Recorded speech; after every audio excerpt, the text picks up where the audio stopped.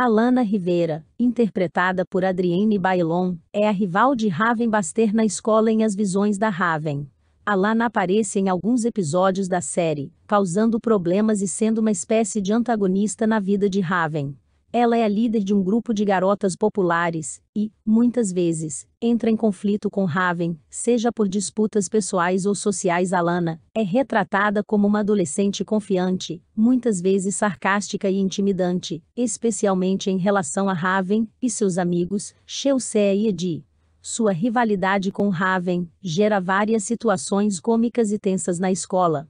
Apesar de seus desentendimentos, a dinâmica entre Alana e Raven também apresenta os típicos dramas adolescentes, como brigas por popularidade, amizade e pequenas intrigas. Embora Alana não seja um personagem principal, suas aparições têm um impacto significativo nas tramas em que ela está envolvida, sempre trazendo um elemento de desafio para Raven.